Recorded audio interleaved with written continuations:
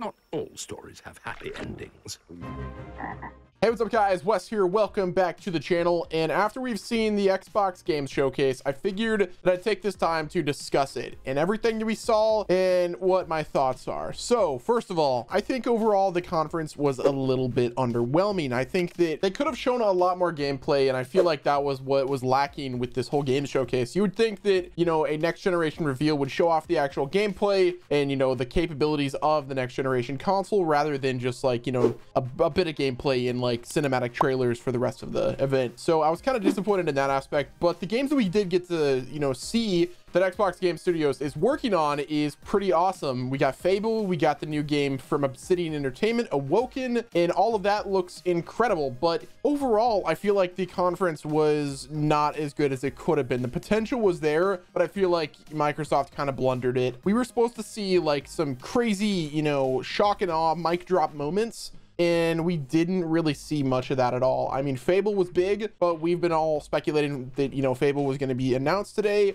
And of course, we saw the State of Decay cinematic trailer. We got to see Forza Motorsport. But besides that, like there wasn't really anything like brand new that was like super incredibly amazing that was going to shock us. I really feel like Microsoft kind of played it too safe. At E3 2019, they talked about how they acquired all of these new studios. And it's like, we're not really seeing much progress with these new studios, like actually doing stuff. Obviously, development takes time, but just give us like a breadcrumb, something that they're working on with these new games. And I feel like they just aren't doing that. They're being overly silent. And it's almost like history is starting to repeat itself from the last generation. They've had so many years to develop brand new IPs and we're not really getting any new IPs that are announced at all. Now, you can argue that it's much safer for a company and a publisher like Microsoft and Xbox Game Studios to release games that have been previously made that are already established IPs. It's a lot safer for their investment, but why not take a risk? I feel like the only company or the only game developer at Microsoft Studios or, you know, Xbox Game Studios that's actually working on new projects is Rare,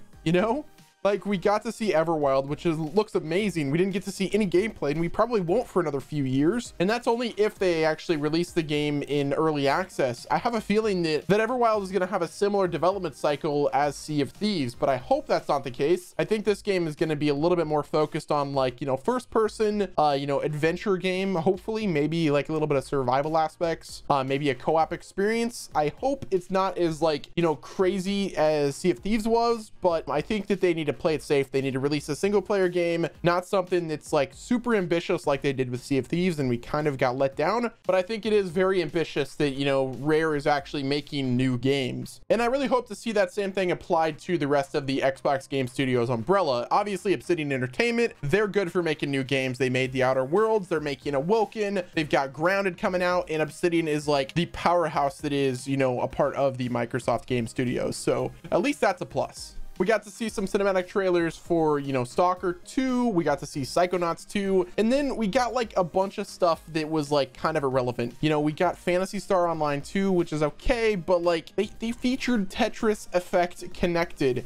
Who in their right mind at Microsoft thought it was a good idea to release an Xbox game showcase that's supposed to show the fidelity of the next generation console that they're selling to us next or like this holiday? Who thought it was a good idea to you know, reveal Tetris. Like, I stand Tetris, don't get me wrong, but like, how is that game supposed to show the capabilities in the fidelity that is the next generation Xbox Series X? It's not. And another thing, like, where the hell was the Series S? I thought that this was the, you know, the big announcement for Lockhart. Does that mean Lockhart is now dead on arrival? Is, are we not actually getting that? Are we just going to get shipped, you know, the Series X and they're going to call it a day? I, I don't understand what Microsoft is doing with this event. I feel like it was pretty underwhelming for that reason. I really hope that there's more that they're going to offer in the future, but we are getting to the nitty gritty. It is nearly August of 2020. The new consoles come out in November and December and October, and we have yet to know the price, the release date, or anything, or the launch lineup for all of these new games that are supposed to launch alongside the Series X and the PS5. We don't know a price. We don't know a release date. How is it that we are in August and we have yet to find that crucial information? These consoles are going to be premium prices and they will will be a premium experience from what we've seen so far with the PlayStation 5 and the Series X, kind of, sort of. Uh, but still, like, we don't have this information. We need it. People have to save money and they're not able to because these consoles aren't going to be probably revealed until August to even September. Now, I'll give them a pass if they are planning to do another reveal event for the price of the Xbox Series X and if PlayStation is doing the same thing. But right now, it's like a game of cat and mouse or even like checkers where,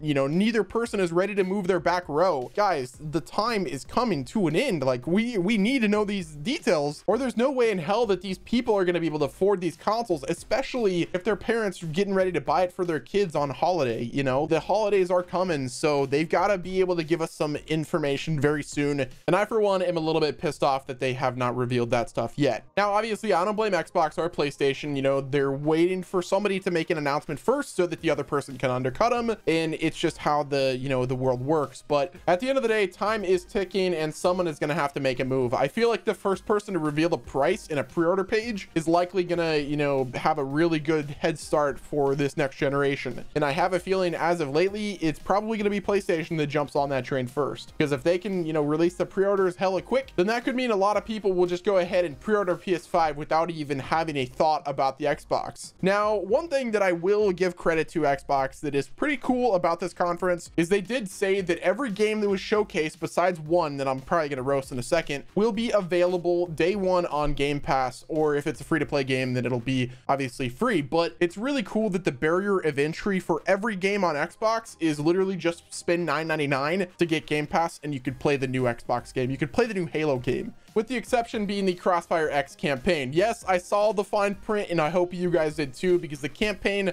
doesn't come out with Game Pass. You'll have to buy that separately. So that's kind of annoying, but hey, every other game is available on Game Pass, which is really good for that. Now, another thing that we have to talk about is the fact that all of the games we saw during the Xbox, you know, reveal and the game showcase are also available on PC. Now, you're probably asking yourself, what is the reason that I should buy an Xbox Series X? And that's a very good question that I don't think was answered today. Like for instance, me, I own a gaming PC, so every game that is available that was showcased today, I'll be able to play on my PC. So they have to figure out how they're going to actually give a value proposition for the Series X, or people are just going to slowly build up their money and they're just going to buy a PC and not really pay for an Xbox Series X or, you know, the potential S that comes out. Now, I will say I personally will be buying a Series X just because I like the fact that it's going to be a smaller console that will be extremely powerful and does have a 4K Blu-ray player, which is really awesome for me. And I think, you know, being able to move that around my house and taking it to like, you know, whenever I travel is super awesome. And I think for that reason, I will get use out of the Series X. But for the people that only have a gaming PC, they really have no reason to buy a Series X. This gives them no reason to. It gives them a reason to buy a PlayStation 5 because there's new exclusive games on there. And it gives them a reason to buy a Nintendo Switch because the portability aspect but there's really no reason to buy a Series X. But I think it's obvious that Xbox knows that, and that's why they're kind of pivoting more towards the cloud streaming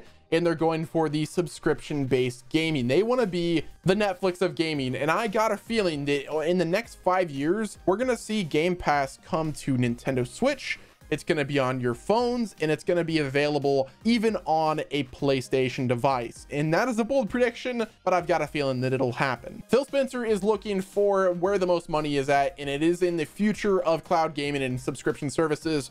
And he knows that, and that's why their focus on the Xbox Series X is mainly to keep that part of their consumer base happy and to continuously buy products. At the end of the day, that is a big enthusiast market and people will always buy the new Xbox. But I will say that Microsoft really does not need to compete in a console war. They're not at war against Nintendo. They're not at war against PlayStation. At the end of the day, if Microsoft really wanted to, they could buy both Sony and Nintendo both in cash tomorrow. The bag in their hand, they could drop it off at Nintendo, they could drop it off at PlayStation, and they could own both of those companies tomorrow in cash but that would require the FTC to approve that and allow it, which they likely wouldn't. But still, they have that much money. They really don't need to pay attention to this console war. They see the big picture with that big money bag that is the game subscription and game streaming service. That is our boy Phil Spencer's master plan. And I think that's going to come to fruition. It's just going to take time. I think these next few years and even probably five to six years are going to be a big struggle. But once you start to see the age of game streaming with Project xCloud, you know, come to the forefront of the industry, just like Netflix did, and they destroyed Blockbuster and, and all that stuff, we're going to see that same thing happen, but it's going to be in the game industry. And Xbox is kind of aligning themselves for that future, which is forward thinking. It's going to suck for the next five to 10 years, most likely. But yo, guys, that's going to be all for this video. I want to know what your take is. What was your thoughts on the Xbox game showcase this year? Did you like it? Is it underwhelming? Are you going to be buying a Series X? Are you going to be picking up a PS5? Let me know in the comment section below, guys. Thank you once again for watching this video. And until next time, it's been Wes. Be sure to hit the like button, subscribe to the channel with your notifications on, and I will see you on the next video. Goodbye, everybody.